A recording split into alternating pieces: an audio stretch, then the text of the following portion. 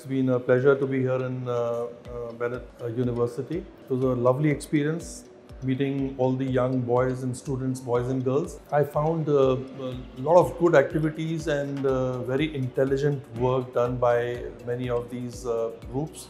There were 14 of programs which I went through and some of them were very good, especially the one which was related to the work done on identifying the kind of crops which are grown in, uh, in the agricultural land by farmers. 70% uh, um, of the country uh, population is involved in farming. There was a lot of good work done and identification and improvement on how the improvement can be done on farming.